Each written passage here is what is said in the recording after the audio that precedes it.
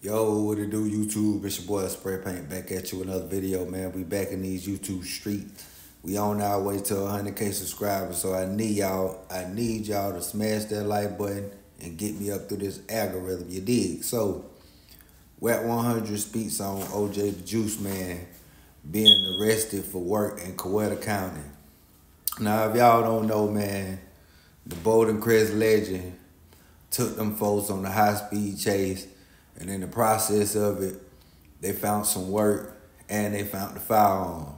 You know what I mean? And they locked OJ Da Juiceman up for trafficking.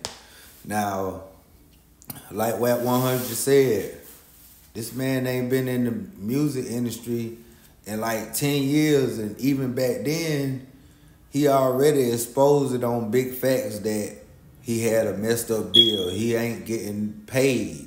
He's saying like Deb gave him a messed up contract. But nevertheless, OJ Da Juiceman has never been known for being no rap nigga. Let's just let's just keep that a band right there. If you from Georgia, you know. You feel me?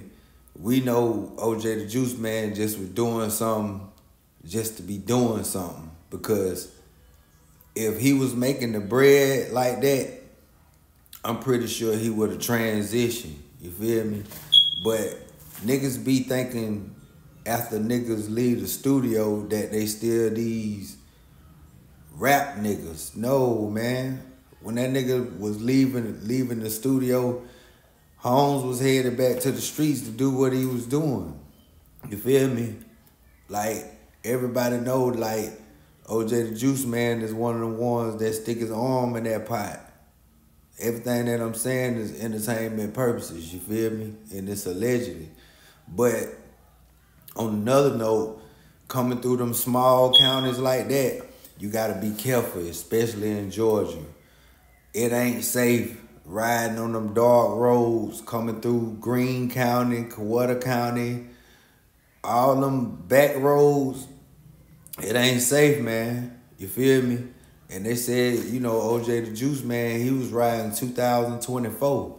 So I'm pretty sure he was some of the probably one of them old redneck officers out there on the road and seen a black man riding in the 2024. You feel me?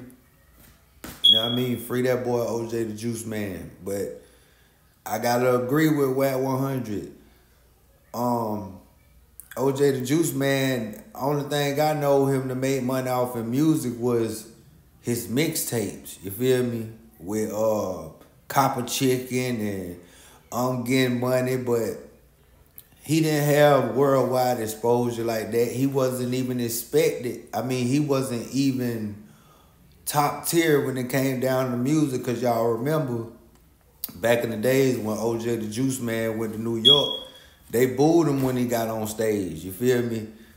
His buzz is more heavy down south than anything. You feel me? Now you got people like Chief Keef and them, you know, they real diehard 1017 fans and stuff like that, but a lot of people didn't gravitate towards OJ Da Juiceman music because it wasn't what they was looking for. Especially these hip hop heads, they they didn't understand it for nothing in the world. But OJ Da Juiceman didn't make music for hip hop. We know who he did it for.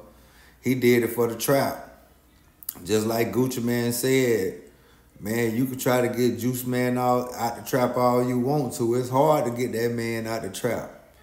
Especially when the when the when the rap game ain't paying like that. Only real ones gonna understand, but y'all drop a comment below and let me know what y'all think about that in the comment section, man. I'm gone.